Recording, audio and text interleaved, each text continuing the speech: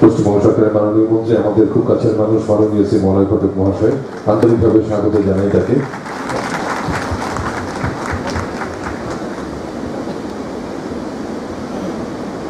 আজকের এই অনুষ্ঠানে আমরা আন্তরিকভাবে স্বাগত জানাচ্ছি মাননীয় শ্রী মলয় ঘটক মহাশয়কে।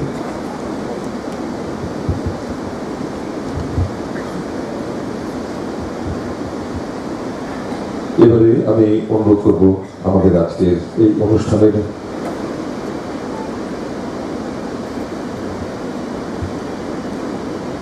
মাননীয় শ্রী মলয় ঘটক মহাশয় তাকে আমরা আজকে এই মঞ্চে বরণ করে নেব। আমাদের পক্ষ থেকে মাননীয় শ্রী জিতেন্দ্র কুমার তেওয়ারি মহাশয় আসানসোলের মাননীয় মহানাগরিক জিতেন্দ্র কুমার তেওয়ারি মহাশয় তাকে বরণ করে নেবেন এই মঞ্চে।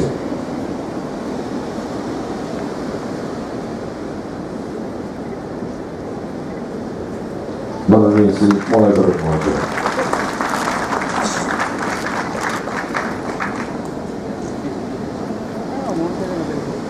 আছেন রাজ্যের অত্যন্ত গুরুত্বপূর্ণ মন্ত্রী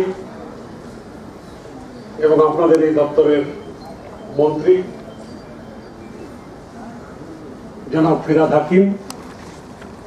উপস্থিত আছেন আসানসোল মিউনিসিপাল কর্পোরেশনের মেয়র এবং বিধায়ক জিতেন্দ্র তিওয়ারি, আছেন প্রিন্সিপাল সেক্রেটারি মিস্টার গুপ্ত, আছেন আমাদের DM Paschim Bardhaman, mister Shashank Sethi IAS এবং আছেন মিউনিসিপ্যাল কর্পোরেশনের কমিশনার, মিস্টার কাদরি, উনিও আইএস, দুর্গাপুরের কমিশনার সহ মঞ্চে উপবিষ্ট অন্যান্য বিশিষ্ট জনেরা এবং আমার সামনে উপস্থিত আজকে আসানসোল দুর্গাপুর কর্পোরেশন আগত কাউন্সিলর ভাই বোনেরা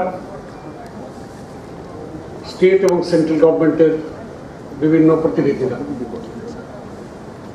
আমি ওঠার সময়, চেয়ার থেকে ওঠার সময় বলছিলাম ফিরাদ হাকিমকে, যেটা আমার বিষয় নয় বিষয়টা কিন্তু ববি ফিরাদ হাকিমের।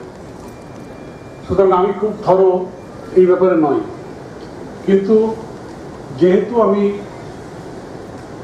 একজন মানুষ এবং একটা গৃহে বসবাস করি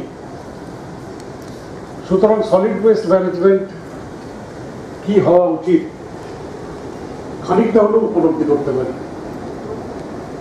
ধরুন যে বাড়িতে থাকি খাওয়া দাওয়া করি, এবং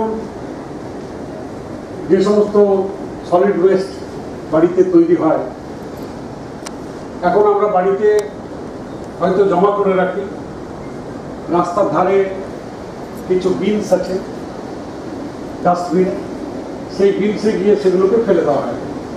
হতো। ইদানিংকালে ডোর টু ডোর কালেকশন শুরু হয়েছে।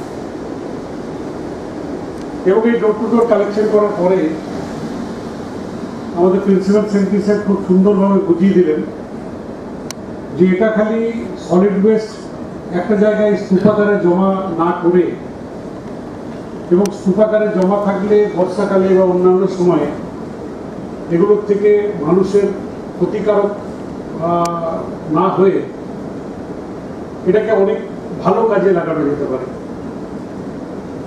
এবং তিনি খুব সুন্দরভাবে বললেন যে এটা দুটো পার্টে ভাগ করে দিতে। একটা পার্টে যেগুলো রিসাইকেল হওয়া সম্ভব, যেমন কাঁচ ভেঙে গেলে সেটা আবার কিন্তু গলিয়ে দিয়ে নতুন কাঁচ তৈরি করা সম্ভব। মেটাল নষ্ট হয়ে গেলে সেটাকে আবার রিসাইকেল করা সম্ভব। আবার অন্যদিকে যেটা বায়োডিগ্রেডেবল অর্থাৎ রান্না, শাকসবজি, বা আপনি মলত্যাগ করছেন, উত্যাগ করছেন, এটা সবই বায়োডিগ্রেডেবল এর দ্বারা আবার অনেক কাজে লাগে সমাজে।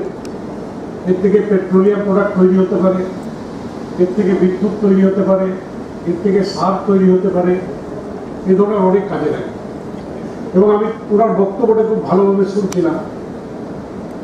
খুব ইন্টারেস্ট দিয়ে শুনছিলাম। তবে আমার যেটা মনে হলো আরেকটা জায়গা উনি মিস করে গেছেন। যে জায়গাটা হলো মার্কেট এই যে আমাদের আসানসোলেই যে বাজার আছে, সবজি বাজার, মাছ বাজার, আমরা দেখি প্রচুর বায়োডিগ্রেডেবল ওয়েস্ট প্রতিদিন ট্রাক ট্রাক সেখানে উৎপন্ন হয় পড়ে থাকে, আবার কর্পোরেশন হয়তো সময় মতো সেগুলো তুলে দিয়ে যায়। এবং তুলে নিয়ে গিয়ে এখন ডাম্পিং ইয়ার্ডে ডাম্প করে দেওয়া হয়। এটা যদি কাজে লাগানো যায়, তাহলে কিন্তু আমাদের আসানসোলের হয়তো সরকারি অফিস হোক, স্কুল, কলেজের অনেক জায়গায় বিদ্যুৎ পৌঁছে দেওয়া যাবে অথবা এটা সার হিসাবে তৈরি করে অনেক চাষের এটা কাজে লাগে। চাষে কিন্তু এটা খুব কাজে লাগে। বায়োডিগ্রেডেবল ওয়েস্ট থেকে যে সার তৈরি হয়, এটা কাজে লাগে।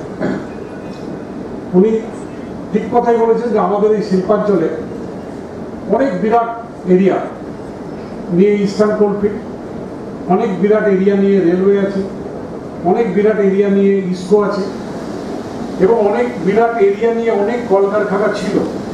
যেগুলো কেন্দ্রীয় সরকারের আওতায় ছিল, যেমন cycle corporation Hindustan cables Burn Standard এগুলো বন্ধ হয়ে গেছে। কেউ নেই, কিন্তু সেখানে তো ওয়েস্টগুলো তৈরি হচ্ছে, কারণ সেখানে লোকজন তো আছে। সেগুলো পরিষ্কার করার মতো। সেই যে সংস্থাগুলো ছিল, সেই সংস্থাগুলো এখনও জীবিত কর্পোরেশন হয়তো ডোর করছে, কিন্তু এগুলোর ব্যাপারেও চিন্তা করার আছে। অনেক কয়লা খাদান বন্ধ হয়ে গেছে কলিয়ে যে কয়লা খনি বন্ধ হয়ে যায়, তখন সেখানে সেখানে এমনকি বিদ্যুৎও অনেক সময় কেটে দিতে যায়। যে লোকে যাতে ইলেকট্রিসিটিটাও না পায়। এগুলোও কিন্তু আমাদের শিল্পাঞ্চলে যখন আমি প্রিন্সিপাল সেক্রেটারিকে বলব যখন আপনারা আলোচনা করবেন এগুলো কিন্তু অনেক আহ, গুলো অ্যাসপেক্ট আছে যেগুলো অন্যান্য কর্পোরেশন বা মিউনিসিপ্যালিটি এলাকাতে পাবেন না। তো আমার বক্তব্যকে দীর্ঘায়িত করছি না। এটা একটা খুব শুভ ভালো উদ্যোগ। যত তাড়াতাড়ি সম্ভব এটা যদি চালু করা যায়। তো আমি কর্পোরেশনের মেয়র জিতেন্দ্র তিওয়ারিকেও বলব যে দ্রুততার সঙ্গে যাতে এটা আমরা আসানসোলে করতে পারি ইমপ্লিমেন্ট করতে পারি, আসানসোলের মানুষের কাছে এই পরিষেবাটা পৌঁছে দিতে পারি। মানুষের জন্য নিশ্চয়ই এটা একটা ভালো কাজ, শুভ কাজ। এইটুকু কথা বলে সকলকে আমার তরফ থেকে ধন্যবাদ জানিয়ে আমার বক্তব্য শেষ করছি। নমস্কার।